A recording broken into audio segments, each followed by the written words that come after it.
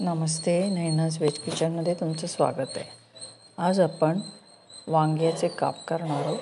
Snack म्हणून किंवा जेवणामध्ये साईड डिश म्हणून. दुसऱ्या कुठल्या भाज्या जास्त नसतील त्यावेळेला वांग्याचे काप भर मस्त लागतात अगदी. तर याच्यासाठी लागणारं साहित्य इथे दिलेलं आहे. बेसन तांदळाचं पीठ मीठ तिखट रवा आहे थोडा.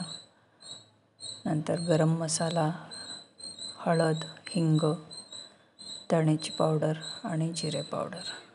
तर हे सगळं जे आहे ते आपण एक एक करून आपल्या एका प्लेटवर घालणार आहोत. तर इथे आधी तांदळाचं पीठ घालते आहे त्याच्यानंतर बेसन म्हणजे हरभऱ्याचं पीठ मीठ लाल तिखट रवा तिखट तुम्ही तुमच्या आवडीप्रमाणे कमी जास्त करू शकता. जास्त तिखट छान लागतं याच्यात.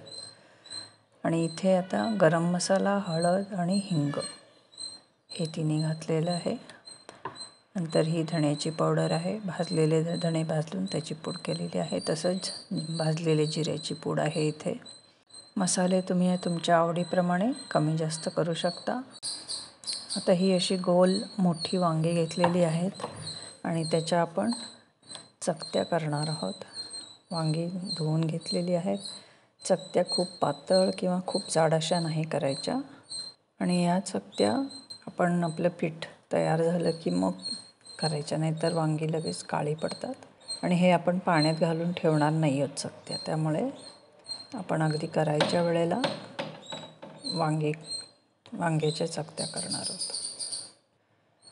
आता इथे आपण जे जे जिन्नस घातले होते पीठ व पिठं आणि मसाले तर ते आपण व्यवस्थित मिसळून घेतो आहे म्हणजे त्याच्यामध्ये तसंच हे पीठ मिसळल्यानंतर एखादं चिमूटभर तोंडात टाकून बघा.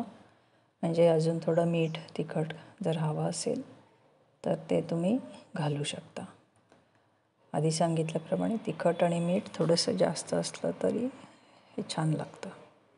तर आता आपण ज्या केलेल्या चकत्या आहेत त्या या पिठामध्ये अशा दाबून दाबून ते पीठ त्या चकत्यांना लागलं पाहिजे. त्याच्यासाठी आपण हे करतो आहे तर ह्या चकत्या अशा सगळ्या पीठ लावून घ्यायच्या आहेत.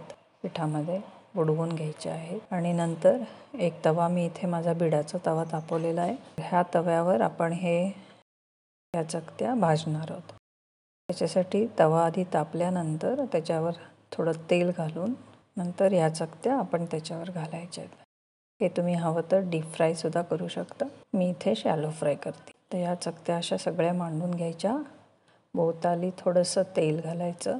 खूप जास्त घालायची जरूर नाही. नॉनस्टिकवर किंवा बिडाच्या ह्याच्यावर केलं की ते चिक चिकटतही नाही या चकत्या अशा एकदा एका बाजूला आणि मग ते झालं की पलटी करून परतून घ्यायच्या आहेत. फार ह्याला हलवावं लागत नाही किंवा खूप बघावंही लागत नाही. आपण हे आणि बारीक फ्लेमवरच परतून घेणार आहोत. या चकत्या भाजून घेतो आहे आणि आपल्या खमंग खुसखुशीत अशा चकत्या तयार होतात. तर ह्या गरम असताना जास्त चांगल्या लागतात. दुसरी बाजू जेव्हा आपण उलटू त्यावेळेला त्या बाजूलाही थोडंसं तेल थोडे थेंब तेलाचे घालून मग आपण ते भाजणार आहोत. तेल जास्त लागत नाही याला. तर धन्यवाद. हा व्हिडिओ बघितल्याबद्दल लाईक करा शेअर करा कॉमेंट करा. या वांग्याच्या कापाची मजा घ्या. मित्रमंडळींबरोबर शेअर करा. भेटू पुन्हा पुढच्या व्हिडिओच्या वेळेला. सबस्क्राईब केलं नसेल तर सबस्क्राईब करा.